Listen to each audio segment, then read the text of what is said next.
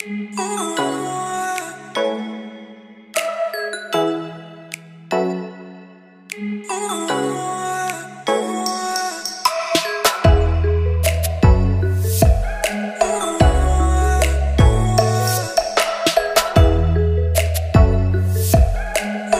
what's up guys? So these are the custom images on the always on display or ambient display actually no smartphone company offering such feature in their always on display except the Samsung but there are also some limitations on the Samsung phones for adding the custom images to the always on display so today in this video we are presenting how to add the custom images to your always on display without root before proceeding you must need the always on display supported phone and it must be AMOLED display. So without wasting any time, let's get started.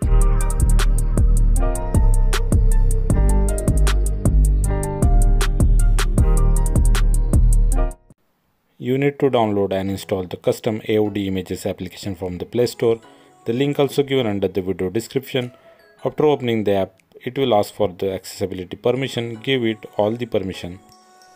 After opening the application, you will see the four tabs at the bottom First one is my images, second is custom always on display images which includes the random 30 images, also includes the recently searched always on display images and the most trending images. The third tab is adding the favorite images that you likes and the fourth tab is category wise based custom images. My custom images and the favorite images is only prime member available feature. So now I will add the custom always on display image from the animation category. For that you need to select your favorite image then click on the circular tab at the bottom. Here you will able to increase or decrease the opacity of your custom images. Always keep it low so the battery drain will be minimal. To apply the image click the picture icon available. When you got the toast message like image set successfully all is done. Now you will see your always on display image. Whenever you do screen on and off image got shifted to the another side to avoid the burning of the screen. When you click the plus icon it will give you prime member option to apply your own picture as a custom always on display image you have to just select your image and then send that image to convert as a audio to developer server.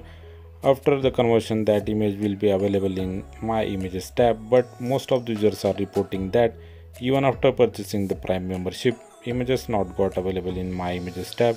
So as per my advice use the stock images which are available free of cost. When you click on the left menu tab you get the option to set the custom text on always on display other options like height clock auto change different images text font text size and the text orientation are the paid options under the custom images, I have added our channel name and the custom text also gets shifted from the top to bottom whenever you turn on and off your screen.